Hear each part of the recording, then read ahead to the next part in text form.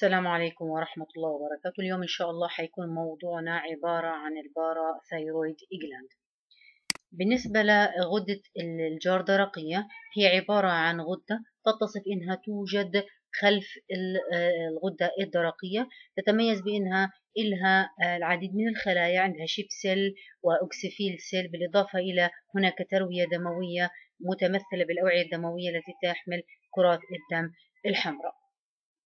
فلو اطلعنا على الغدة الدرقية حنجد أنه خلفها مباشرة يقع ال parathyroid gland بالنسبة لل parathyroid gland تكمن أهميتها في الحفاظ على معدل الكالسيوم في الجسم. ليش بتحافظ على معدل الكالسيوم في الجسم؟ لأنه الكالسيوم له دور مهم جدا في الجسم. من ضمن الأهمية الفسيولوجية للكالسيوم آه، أول حاجة أنه أملاح الكالسيوم تزود العظام بالتماسك الخاص فيها وهذا ما يعطي للهيكل العظمي صلابته. بالإضافة إلى أنه آه، أيونات الكالسيوم الموجودة في ال extracellular وال cellular fluid اللي هي السوائل الخلوية والسوائل الموجودة خارج الخلايا تشكل الأساس في الحفاظ على ال biochemical process والعمليات الكيميائية التي تحدث داخل جسم ال host. من ضمنها أنها تحافظ على آه، قدرة الأعصاب والعضلات على الاستجابة آه، فبنسميها neuromuscular excitability اللي هي أنها تتهيج عند حدوث اللي هو أكشن أو reflex بالإضافة لأنه الكالسيوم بيلعب دور مهم جدا في تجلط الدم ودور مهم جدا في إفراز الهرمونات بالإضافة إلى آه، عملية تنظيم للإنزيمات ونشاطها. الكالسيوم يوجد الكالسيوم آه، على صورة حرة.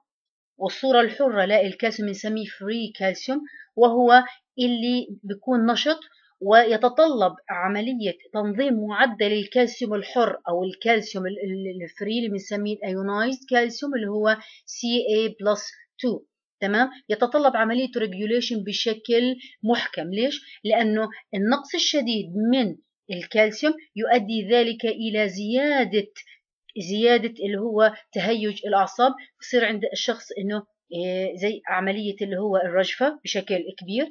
أيضا أنه إيه، زيادة الكالسيوم الشديدة تؤدي إلى تثبيط في استجابة الأعصاب بنسميه neuronal depression بيحدث التحكم في مستوى الكالسيوم على عدة آه على عدة مراحل أو على عدة آه phases على مرحلة ال absorption من خلال الأمعاء. على ال excretion من خلال الكلية وما يمثلها من إخراجات آه، عن طريق ال urine وأيضا اللي هو بتتحكم أيضا في مستوى الكالسيوم عن طريق اللي هو التحكم في مخزون الموجود في الجسم عن طريق اللي هو المخزون الموجود في العظام. هذا بوصلنا إلى آه، عملية في عندنا عملية هاي العملية آه، تحدث بشكل متزامن مع بعضها البعض هذه العمليات بتساعد على ثبات معدل الكالسيوم في الجسم. فنجد إنه يوميا بيصير في عندنا calcium intake حوالي 350 ملي جرام يوميا بيحدث لهم absorption من ال intestine وبيدخلوا لل extracellular fluid وبتجمعوا في ال pool الموجود في ال extracellular fluid وما تحتويها من كالسيوم هو حوالي 1300 ملي جرام تمام؟ في المقابل في أنا عندي تخرج يوميا من ال extracellular fluid وتخرج عن طريق آه، البراز آه، تخرج آه، يصيرها excretion إلى الأمعاء هي حوالي 250 ملي جرام يوميا تمام؟ وهذا بوصلنا إلى إنه يخرج مع ال feces حوالي 900 ملي جرام يوميا تمام؟ الآن الكالسيوم موجود في ال extracellular fluid يتبادل ما بينه وما بين الخلايا. فنجد إنه الخلايا ما تحتويها مجمل الكالسيوم موجود في الخلايا حوالي 13000 ملي جرام من الكالسيوم والموجود في الكالسيوم موجود في ال extracellular fluid بيحدث له filtration عن طريق الكلية. فاللي بيحدث filtration له يوميا هو 9 6980 ملي جرام يوميا. في المقابل اللي بيحدث reabsorption من الكلية وبيرجعوا مرة ثانية لل extracellular fluid هي عبارة عن 9880 ملي جرام يوميا. في المقابل أنا في عندي 10 ملي جرام بتخرج يوميا مع البول وتم طرحها خارج الجسم.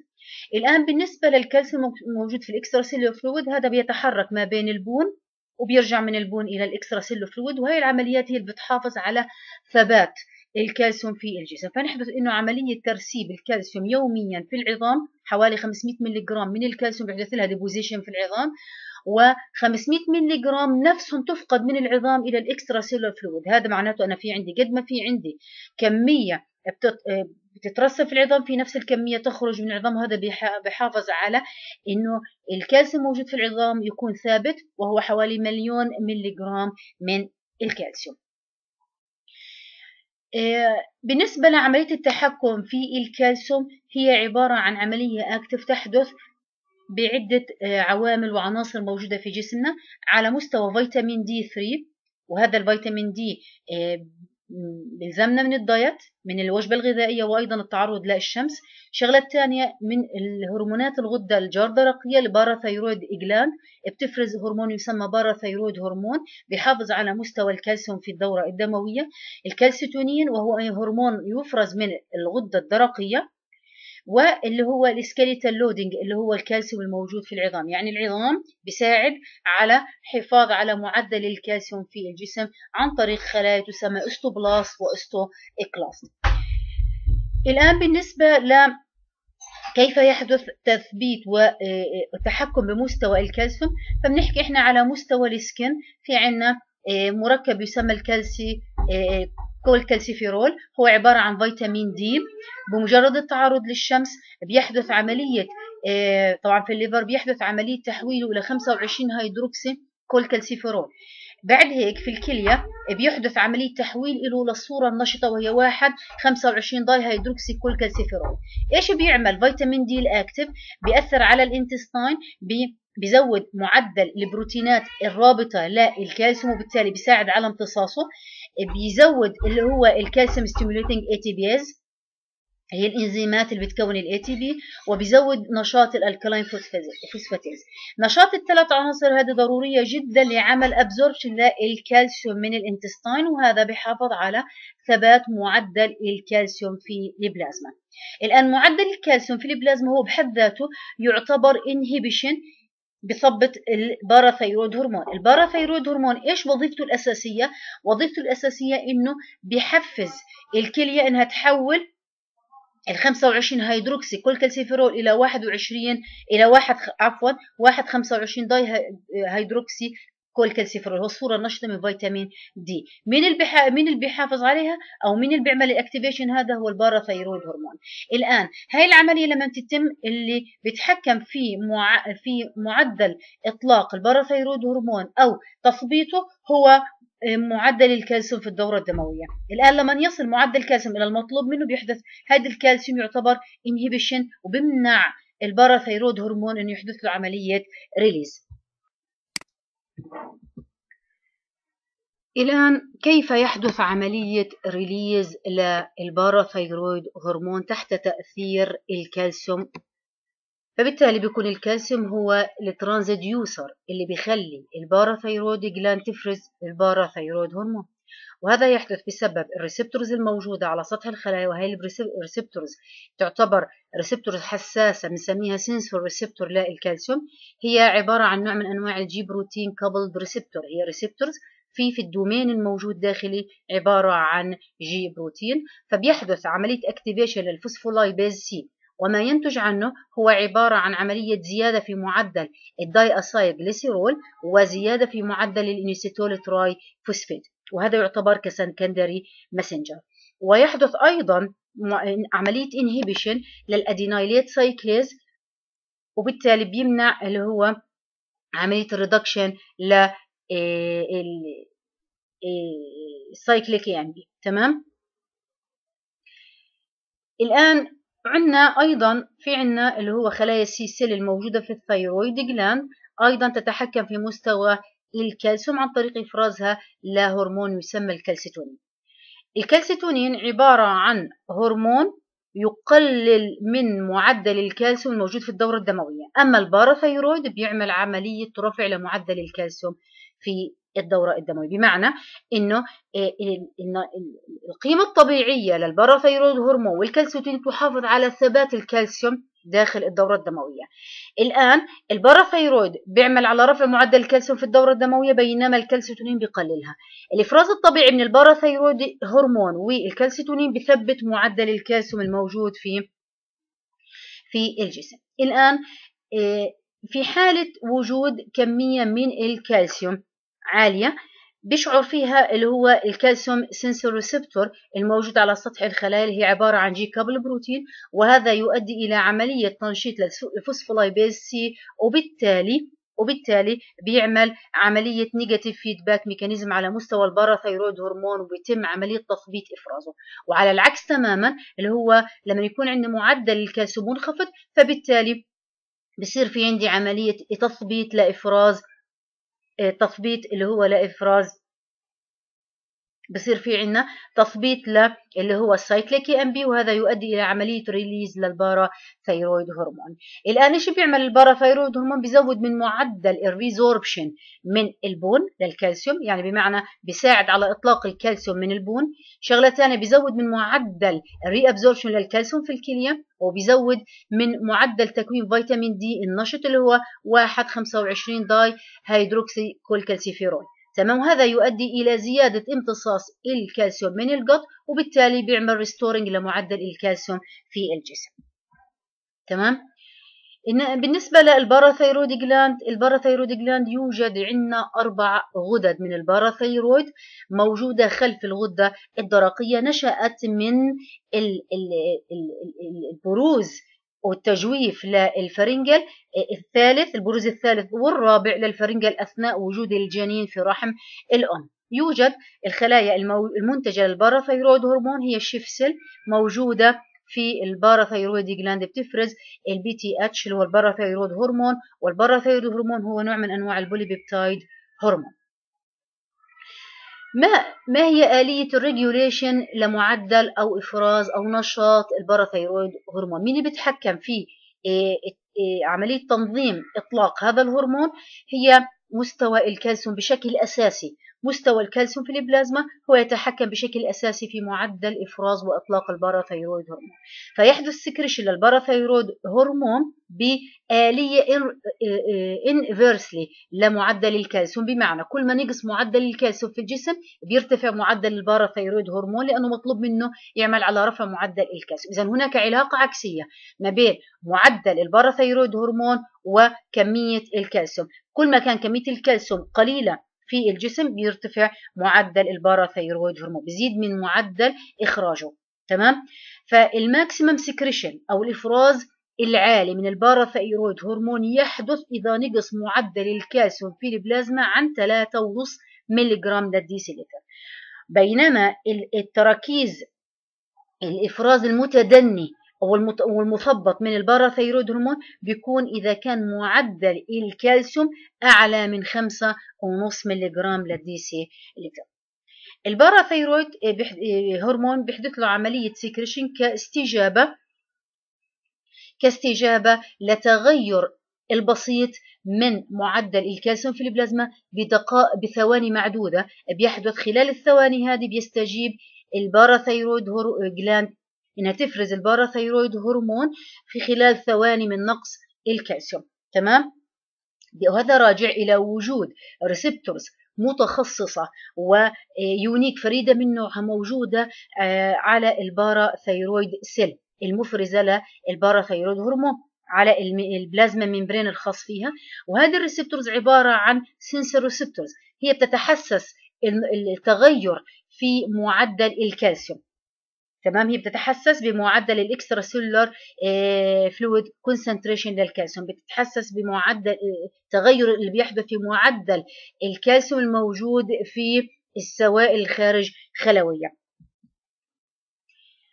وهذا يحدث زي ما حكينا إنه بسبب ال receptors الخاصه وهذا ال receptors تعتبر G protein coupled receptors اللي بتحدث عملية activation مجرد ما يشعر بالنقص حيبدا يتنشط ال G protein coupled receptors هذا ال G protein الموجود على هذه ال receptors اللي بيشعر بنقص الكالسيوم بيحدث على طول عملية بيحدث عملية اللي هو آه، تنشيط لل phospholipase C وتثبيط لل adenylate cyclase ينتج عنها زيادة في معدل الكالسيوم في الجسم. إذا هذه العملية وعملية تنشيط لل phospholipase C وتثبيط ال adenylate cyclase يحدث في حالة نقص الكالسيوم. كنتيجة لذلك بصير في زيادة في معدل الكالسيوم عن طريق إنه ال inositol triphosphate اللي بيتكون وانخفاض في معدل ال cyclic AMP بيمنع ال exocytosis لل parathyroid hormone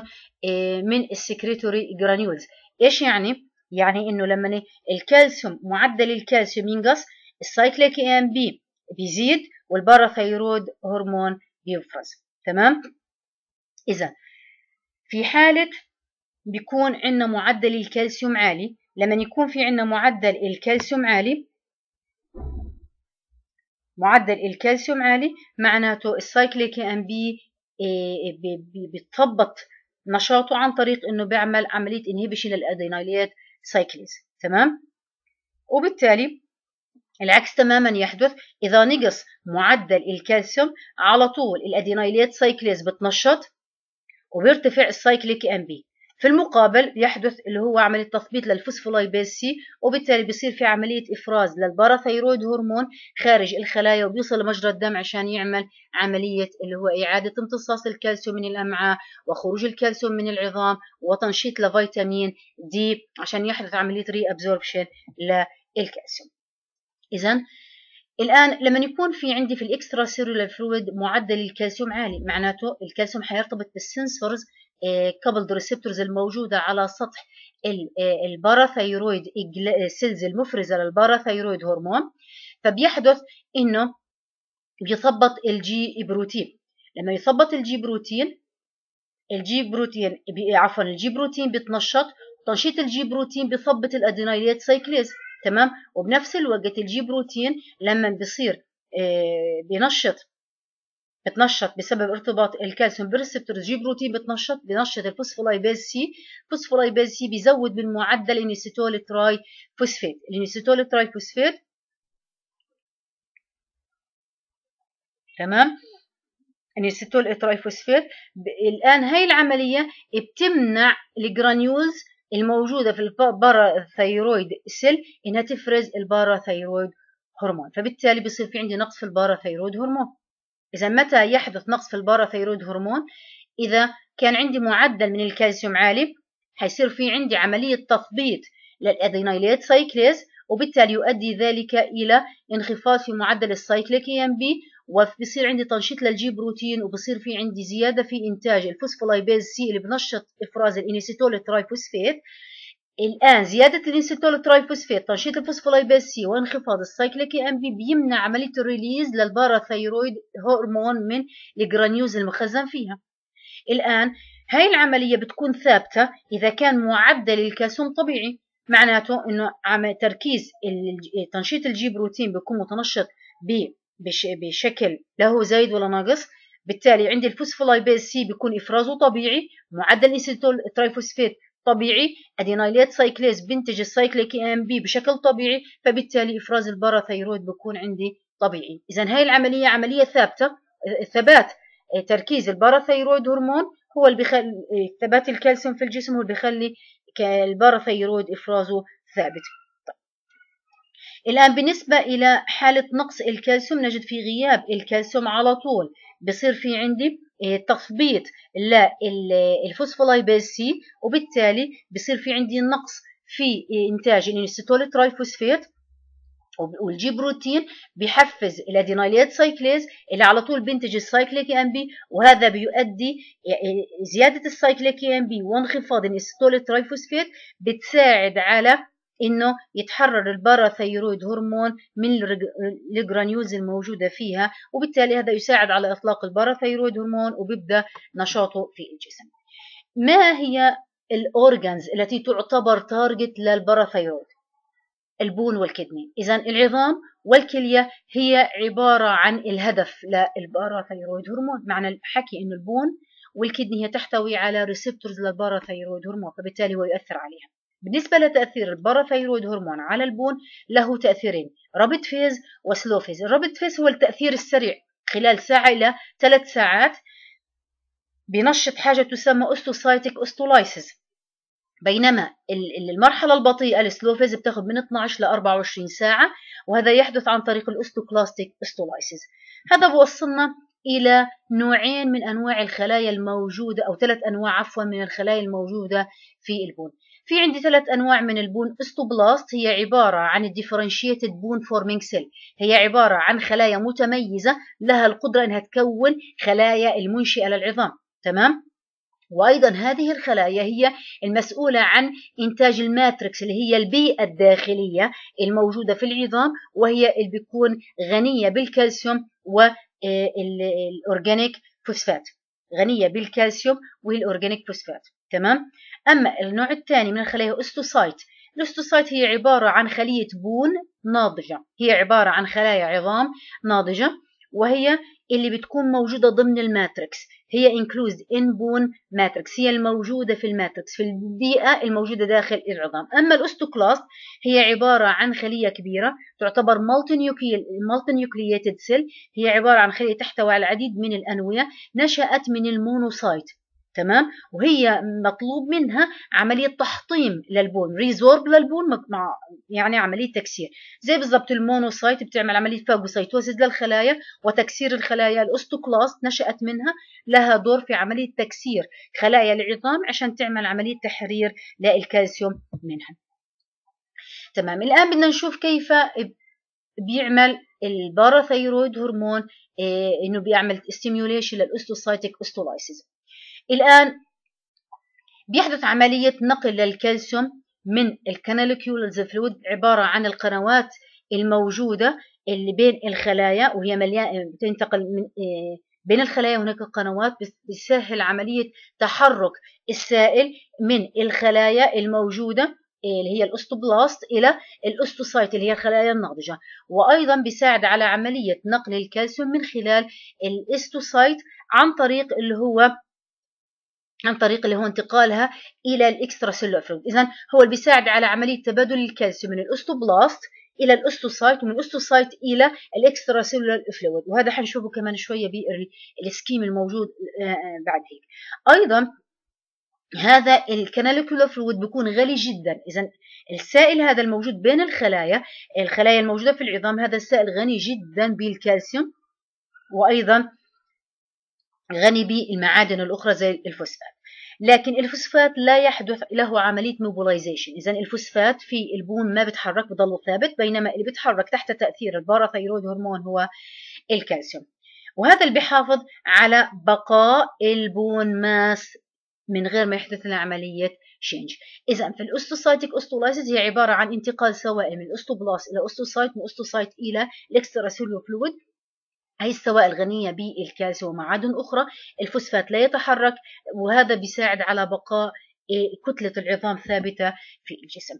إذا لو نتكلم على ال osteoblast الآن هنا وهذا السائل هو bone fluid الآن يتحرك الكالسيوم من ال canaliculi الفجوات الموجودة بين اللي هو ال osteoblast ينتقل إلى ال extracellular fluid ومنها إلى ال osteocyte والآن لما يحدث حاجة إلى الكالسيوم بيبدأ خروج الكالسيوم من ال osteocyte إلى عبر قنوات إلى ال osteo إيه، إلى osteoblast وبيتم إيه، إطلاقه من ال bone إلى مجرى الدم عن طريق اللي هو calcium pump الموجودة في الخلايا. أما ال osteoclast وظيفتها عملية phagocytosis phagocytosis osteoclast هي اللي بتحطم ال osteocyte عشان يتم خروج منها الكالسيوم. أيضا هناك هي السوائل وال matrix اللي فيها ال osteocyte غنية بالكالسيوم.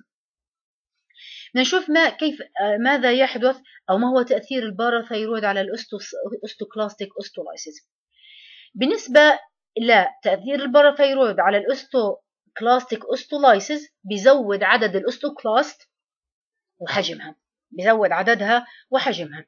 هي واحد. اثنين بزود إنزيمات ال osteoclast اللي هي collagenase وال lysosomal enzyme بزود من نشاطها.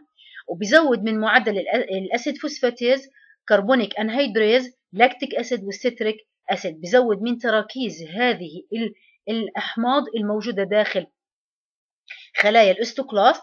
وأيضا بزود من نشاط إنزيم ال collagenase وال lysosomal enzyme بزود من نشاط ال osteoclast فبالتالي بيزود من عملية ال resorption لل bone تكسير خلايا ال bone تمام؟ هذا يؤدي إلى عملية تحريك الكالسيوم والمغنيسيوم وال inorganic phosphate تمام؟ بدنا نشوف ما هو تأثير ال parathyroid hormone على بناء العظام. ال parathyroid hormone باني للعظام يتصف أو بيتوافق وظيفته مع وظيفة الكالسيتونين من اللي بيفرز من. من ال thyroid gland إيش بيعمل؟ بيساعد على زيادة خلايا الأم اللي قادر على تكوين ال bone cell اللي هي ال osteoblast وأيضا بيساعد على زيادة تكوين الكولاجين لأنه هو الأساس الموجود في ال matrix تبع العظام النسيج العظمي. بيزود من نشاط ال alkaline phosphatase له تأثير باني على العظام. وأيضا يزود من ال growth factors اللي تعتبر هي transforming factors زي ال IGF اللي بيزود من معدل البناء لخلايا العظم. ما تأثير ال parathyroid على الكلية بيزود من معدل ال reabsorption للكالسيوم والمغنيسيوم من ال ascending loop وال distal tubules بيزود من معدل ال reabsorption للكلور اللي هي الكلورايد من ال proximal tubule الموجود في الكلية بقلل من معدل ال reabsorption للفوسفات والصوديوم والبايكربونات من ال proximal tubules وبيزود من نشاط الألفا 1 hydroxylase الموجود أو الذي يفرز من ال proximal tubule اذا تحت تأثير انخفاض معدل الكالسيوم في الجسم بيبدأ عملية إفراز ال parathyroid اللي بيأثر على ثلاث أنسجة أساسية ال bone والكلية وال intestine على ال bone بيزود من معدل ال bone resorption عن طريق تأثيره على ال osteoclastic cell. إنه بيزود من معدل تحطيم الخلايا ال bone عشان يطلق كالسيوم. بتأثيره على الكلية إنه بقلل من معدل ال reabsorption للفوسفات وبزود من ال reabsorption للكالسيوم وبزود من ال urinary cyclic AMP تمام؟ على ال intestine بزود عملية ال absorption للكالسيوم عن طريق إنه بيساعد على تنشيط ال vitamin D بيحولوا للصوره ال active اللي هي 1 25 dihydroxycholecalciferol نشاط اللي, تأثرت في ال intestine والكلية وال bone تحت تأثير ال parathyroid hormone يساعد على رفع معدل الكالسيوم وعودته إلى المستوى الطبيعي. الان بمجرد ما يوصل الكالسيوم للمعدل الطبيعي هذه إشارة تركيز الكالسيوم يعتبر inhibition inhibition signal لمين لل parathyroid secretion فبالتالي بصير في عندنا تثبيط في negative feedback mechanism على مستوى ال parathyroid gland فبالتالي بثبط إفراز ال parathyroid hormone. طيب الآن لو انخفض معدل الفوسفات في البلازما هذا يساعد وهذا بسبب انخفاض ال renal phosphate انخفاض ال reabsorption من ال renal phosphate بيؤدي ذلك إلى زيادة معدل اللي هو تنشيط فيتامين D واحد 25 dihydroxycholecalciferol وهذا كله بيحدث بسبب نشاط ال parathyroid. الآن الآن لما يفرز ال parathyroid لما يكون في أنا عندي معدل من الكالسيوم عالي معدل الكالسيوم الموجود في البلازما بثبط إفراز ال parathyroid تمام؟ وهذا يؤدي إلى زيادة خروج الكالسيوم من من ال urine ونقص الفوسفات التي تخرج من ال urine تمام؟ هذا بيعمل على إيش؟ عملية restoring لمستوى الفوسفات. الآن الآن كيف أنا بده يعمل عملية restoring لمعدل الفوسفات في الجسم؟ عن طريق إنه الفوسفات هناك علاقة عكسية ما بين الفوسفات ومعدل الكالسيوم. بيعلى معدل الكالسيوم الفوسفات بقل. على طول بتثبط ال parathyroid hormone إنه يفرز بيساعد على خروج الكالسيوم مع ال urine بالتخلص من الكمية الزيادة و بيمنع خروج الفوسفات من ال urine. فبالتالي هذا بيرجع معدل الفوسفات للطبيعي في الجسم. تمام؟ وأيضا بيزود من معدل اللي هو ال intestine absorption وال bone resorption اللي هو الفوسفات. تمام؟ طيب الآن في حالة نقص الكالسيوم في البلازما. parathyroid hormone بيزيد وزيادة إفراز ال parathyroid زي ما ذكرنا في المخطط السابق يؤدي إلى نقص الفوسفات. إيه لما بينقص معدل الفوسفات بينقص الفوسفات من الكلية. بيبدأ ينقص من عملية خروجه من البول وبيتنشط فيتامين D تحت تأثير إفراز ال parathyroid. بيتنشط فيتامين D بيأثر على ال intestine وال bone بيساعد على زيادة معدل زيادة معدل الكالسيوم. تمام؟ الآن كيف صار زيادة لمعدل الكالسيوم؟ إنه في الكلية منعنا خروج الكالسيوم من ال من ال الكلية عن طريق البول فبالتالي عمل reabsorption له للدورة الدموية وهذا أدى إلى زيادة معدل الكالسيوم وزيادة امتصاص الكالسيوم من ال intestine رفع معدل الكالسيوم زي خروج البو الكالسيوم من ال bone تحت تأثير ال bone resorption أدى ذلك إلى زيادة معدل الكالسيوم. تمام؟ لما يصير في زيادة في معدل الكالسيوم لو زاد عن حده بتلاقي معدل الكالسيتونين من ال thyroid gland يفرز بالتالي بيساعد على بيساعد على عملية طرح الكالسيوم عشان يصل معدل الكالسيوم إلى الاستقرار. تمام؟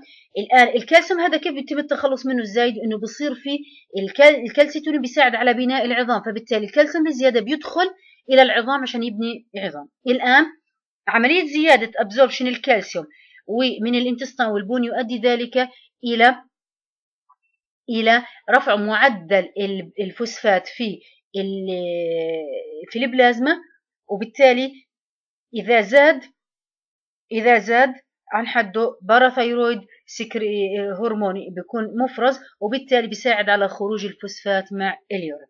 إذا وجود الكالسيوم والفوسفات وجود عكسي بيرتفع الكالسيوم بيقل الفوسفات وهكذا. لكن لما يكون عندي ثبات من معدل ال parathyroid hormone وال calcitonin في عندي ثبات في ال minerals الكالسيوم والفوسفات الموجودين في الجسم. وعرفنا إنه لما يكون في عندنا مركب 7 dehydro آه، كوليسترول تحت الجلد اذا تعرض جلدنا وهذا دائما نحكي لازم نتعرض لأشعة الشمس. ال UV الموجود في أشعة الشمس بيساعد على تحويل هذا المركب إلى آه، cholecalciferol cholecalciferol ممكن أيضا ناخذه من ال diet من الوجبات الغذائية. في ال liver بيتحول إلى صورة 5 hydroxycholecalciferol لكن هذا ليست الصورة النشطة إنما مرحلة انتقالية بيصل هذا المركب إلى الكلية. الآن تحت تأثير انخفاض معدل الكالسيوم بيصير في عند ارتفاع في معدل ال parathyroid آه، هرمون و آه، وأيضا انخفاض في الفوسفات. هذه تعتبر إشارة إيجابية signal positive signal على الخلايا إنها اللي هي ال proximal tubules إنها تبدأ تفرز آه، أو تنشط اللي هو الفا 1 hydroxylase alpha 1 hydroxylase هو اللي بيعمل على تحويل 25 hydroxycholecalciferol إلى الصورة ال active اللي هي 1 25 dihydroxycholecalciferol وهو صورة نشطة من فيتامين D. تمام؟ أما الصورة الغير نشطة اللي هي إنه يبقى آه، إذا حدث زيادة في معدل الكالسيوم بيثبط ال parathyroid وبالتالي بتثبط هذا الإنزيم وبيبقى الفيتامين D بالصورة ال inactive اللي هي 24 25 dihydroxychole تمام؟ الآن ما هو الأكشن لفيتامين D على ال small intestine بالنسبة لنشاط فيتامين D على ال small intestine طبعا نشاط فيتامين D بيكون تحت تأثير ال parathyroid hormone نشطه من الكلية وبدأ إنه يأثر على ال small intestine له rapid phase اللي هو المرحلة السريعة من نشاطه خلال ساعة إلى ست ساعات بيزود من معدل ال absorption للكالسيوم. تمام؟ طبعا من خلال ال sodium calcium exchange. بمعنى إنه آه، بيتم امتصاص الكالسيوم من الأمعاء على حساب الصوديوم على حساب الصوديوم. تمام؟ الآن أما ال slow phase بياخد من 48 إلى 96 ساعة بيزود من معدل آه، ال absorption للكالسيوم من ال intestine عن طريق أنه بيساعد في عملية تكوين البروتينات اللي بتربط الكالسيوم وبالتالي بيتم عملية امتصاصه عن طريق اللي هذا البروتين. وهذا البروتين يسمى calbindin calbindin من اسمه cal كالسيوم. bindins اللي هو البروتين اللي بيرتبط بالكالسيوم يسمى calbindins هو البروتين اللي بيصير عملية تكوين له في ال slow phase تحت تأثير فيتامين D عشان تبدأ عملية ارتباط الكالسيوم بهذا البروتين ويحدث عملية absorption ليش هذا ال phase بياخذ فترة أطول؟ لأنه عملية تكوين البروتينات عملية تتحكم فيها جينات بصير عملية آه، تحويل الدي ان اي لماسنجر ار ان اي بالترانسكريبشن بعد هيك translation إلى بروتين وبالتالي بياخذ وقت. عشان هيك هذا ال slow phase عبارة عن عملية تكوين بروتين رابط للكالسيوم. فيتامين D له تأثير على العظام. وهذا التأثير على العظام إنه بيعمل bone resorption ليش؟ لأنه بيحفز نشاط ال osteocytic osteolysis وبنفس الوقت بيزود من ال osteoclastic number و activity إذا هو بيعمل بيساعد على عملية خروج الكالسيوم من الاستوسايت عن طريق الاكسترا سيرولر فلويد من الاستوبلاست للاستوسايت من الاستوسايت بيخرج إلى مجرى الدم وأيضا بيزود من نشاط ال osteoclast وعددها فبالتالي تتحطم ال bone cell وبالتالي بيبدأ عملية اللي هو خروج الكالسيوم. أيضا فيتامين D له تأثير باني على العظام لأنه بيزود من نشاط ال osteoblast هي الخلايا الأم لا لل osteocyte بزود من نشاطها من خلال إنه آه، إنتاج بعض البروتينات اللي هو fibronectin وال osteocalcin. تمام؟ أيضا بزود من نشاط ال alkaline phosphatase اللي يعتبر هذا إنزيم باني للعظام. هذا بوصلنا كمان إلى إنه في عندي هرمون آخر هو هرمون الكالسيتونين بيعمل control لمعدل الكالسيوم فبالتالي هو بيعاكس ال parathyroid hormone. هذا الكالسيتونين هو عبارة عن polypeptide hormone يفرز ويتكون داخل ال C cell اللي هو الموجودة ال parafollicular C cell الموجودة في ال gland في ال thyroid gland وال calcitonin له نشاط على العظام. بيقلل من ال osteoclast number وبيقلل من نشاطه. اذا يقلل من عدد ال osteoclast ونشاط ال osteoclast. اذا تأثيره باني على العظام طالما إن منعت نشاط ال osteoclast وقللت عددها فبالتالي أنا منعت تكسير الخلايا العظام. إذا هي تأثير الكالسيتونين على العظام تأثير باني. وشغلة ثانية إنه له نشاط إنه بيساعد على اللي هو نشاطه يتناسب طردي مع اللي هو ال bo النشاط ال bone cell بنسميه ال bone turnover اللي هي ال osteoblast لما بتكون ال osteocyte بيسرع من عملية تكوين الخلايا الناضجة لل bone cell وهذا كله بيؤدي إلى بناء عظام. تمام؟ إذا بالنسبة للكالسيتونين بيفرز الكالسيتونين إذا كان عندي معدل من الكالسيوم عالي بيزيد معدل إفراز الكالسيتونين من ال parafollicular C cell الموجودة في ال thyroid تؤثر على bone kidney وعلى الكالسيتريول اللي بيأثر على ال intestine تمام؟ بالنسبة لل bone بيساعده في دور في دوره على بناء العظام ال parathyroid hormone بيزود من معدل تكوين العظام وبيقلل من عملية خروج الكالسيوم وال organic phosphate من العظام فبالتالي هو بيساعد على البناء. أما تأثيره على الكلية الكالسيتونين بيأثر على الكلية إنه بيزود من معدل إخراج الفوسفات ويقلل من معدل إخراج الكالسيوم. إذا الكالسيوم معناته طالما إنه لم يخرج بيرجع لمجرى الدم والكالسيوم بيساعد على ترسيبه داخل العظام. تمام؟ اللي بيأثر على الكالسيتونين بيأثر على بتكون الكالسيتريول اللي بيأثر على ال intestine وبالتالي ال intestine بتعمل عملية reabsorption للكالسيوم والفوسفات تمام؟ طيب إذا زاد معدل الآن بدنا نلخص اللي حكيناه في حالة زيادة معدل الكالسيوم وفي حالة نقص الكالسيوم. في حالة زيادة معدل الكالسيوم نجد أنه ال parathyroid آه، يثبط. هذا يؤثر على الكلية بمنع تنشيط فيتامين D يؤثر على ال intestine بمنع ال absorption آه، بقلل ال absorption للكالسيوم. طبعا ال absorption للكالسيوم بيتم عن طريق أملاحه على هيئة كالسيوم فوسفات وبالتالي آه، بقلل من معدل إطلاق أملاح الكالسيوم من العظام وهذا يؤدي إلى قلة معدل الكالسيوم. والعكس تماما يحدث لما يكون في عندي نقص في الكالسيوم بيزيد معدل ال parathyroid بنشط إيه، vitamin D في الكلية. vitamin D بيساعد على زيادة امتصاص الكالسيوم أو أملاح الكالسيوم من ال intestine وهذا بيزود معدل الكالسيوم. وفي نفس الوقت ال parathyroid بيساعد على خروج الكالسيوم على هيئة أملاحه من العظام وبالتالي يزود من معدل الكالسيوم. الآن بدنا نحكي عن مشكلة لو صار عند هذا الشخص عنده خلل في الكلية بنسميه renal destruction يحدث فيها خلل في معدل الكالسيوم ومعدل ال parathyroid hormone على ال mechanism التالي.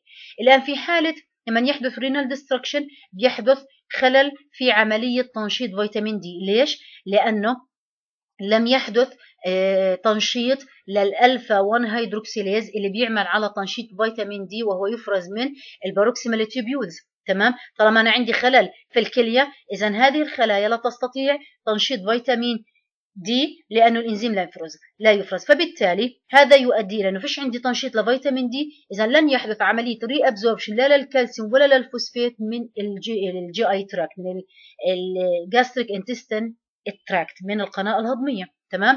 هذا يؤدي إلى هذا يؤدي إلى انخفاض معدل الكالسيوم وبالتالي لما ينخفض معدل الكالسيوم بنجد إنه ال parathyroid hormone بيزداد وبالتالي بصير في عنده زيادة في معدل تكسير العظام. تمام. طيب الآن لما يحدث أيضا renal destruction بيزيد معدل الفوسفات في الكلية لأنه مطلوب من الكلية إنها تعمل عملية خروج للفوسفات. طالما في عندها خلل اذا حيرجع الفوسفات مع المواد اللي تمتص إلى مجرى الدم فبيزيد معدل الفوسفات اللي بيرجع للدم وهذا يؤدي إلى زيادة معدل الفوسفات في سيرم الدم وزيادة الفوسفات أيضا تؤثر على مستوى الكالسيوم اللي قلنا علاقة عكسية فبيقل معدل الكالسيوم وبالتالي بيزيد معدل ال parathyroid آه، هرمون إفرازه وهذا يؤدي على العظام. عشان هيك الناس اللي عندها مشاكل في الكلية نجد عندها معدل من الكالسيوم منخفض معدل فوسفات عالي معدل من ال parathyroid hormone عالي ونجد إنهم يعاني من مشاكل في العظام. تمام؟ إذا ال mechanism اللي حكيناها أيضا ملخصه هنا حكينا إنه لما يكون في عندنا نقص في ال nutritional calcium معدل الكالسيوم اللي بيجينا من من الوجبات الغذائية هذا بيؤدي إلى أول حاجة إنه الوصل للقناه الهضمية شعرت القناة الهضمية بنقص في معدل الكالسيوم فبالتالي اللي آه، طبعا حكينا إنه في sensor هذا ال sensor بيخلي ال parathyroid gland آه، إنها تبدأ تفرز ال parathyroid hormone. هذا يحدث إنه بصير في عندي stimulation لزياده آه، طبعا ال parathyroid عمل stimulation لزيادة امتصاص الكالسيوم وبالتالي دخل إلى اللي هو مجرى الدم وسوائل ال extracellular fluid السوائل الموجودة خارج الخلايا. صار في عندنا اللي هو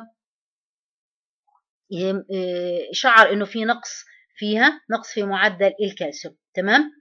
الآن آه، الآن ال parathyroid في تحت تأثير نقص الكالسيوم سواء من ال dietary أو إنه طالما ما صارش في عندي امتصاص للكالسيوم في بيفرز اللي هو ال parathyroid بيفرز ال parathyroid ال parathyroid يؤثر زي ما حكينا بنشط آه، vitamin D وبالتالي بيساعد على إعادة امتصاصه من الكلية إعادة امتصاص الكالسيوم من الكلية في المقابل بيزيد من عملية طرح الفوسفات.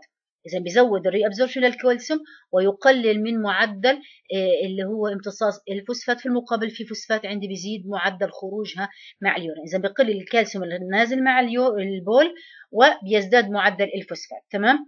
أيضا ال parathyroid ال parathyroid بتزود من معدل إطلاق الكالسيوم من العظام وبالتالي بيصير بيدخل الكالسيوم اللي صار resorption من ال bone إلى مجرى الدم وبالتالي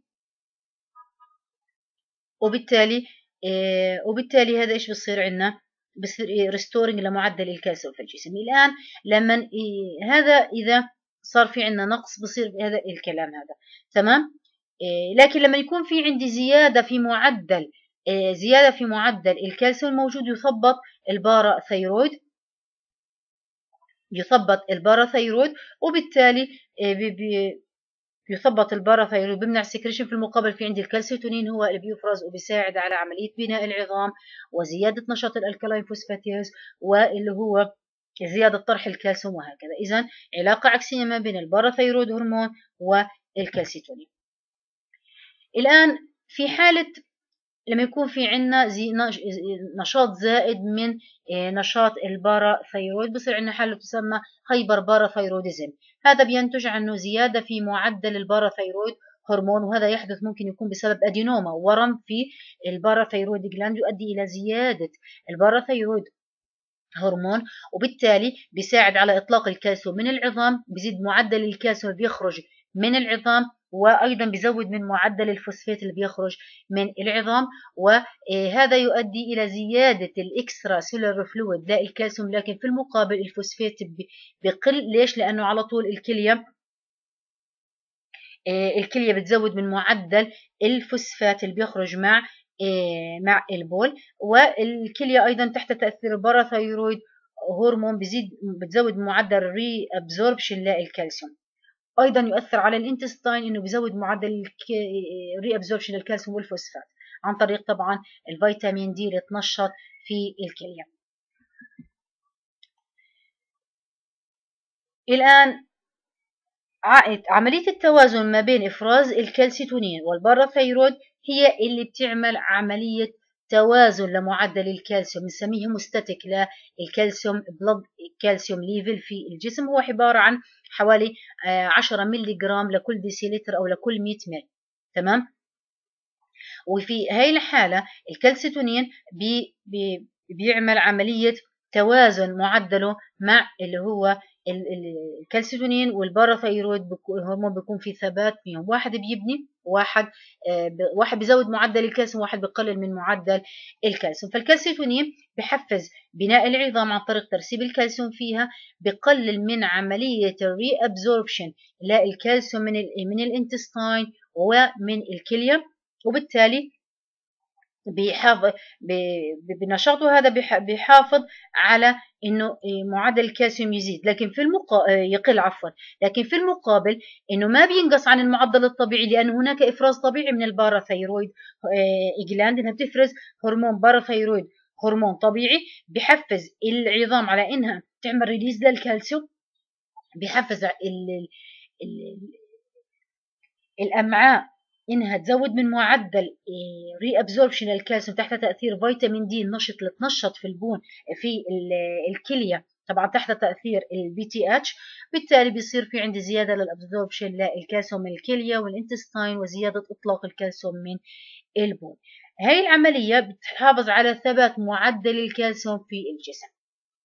تمام؟ إيه، إذا ال stimulus لإفراز الكالسيتونين هي عبارة عن زيادة معدل الكالسيوم في الدورة الدموية. على طول ال parathyroid تشعر بهذا النقص وبتزود من معدل الكالسيتونين.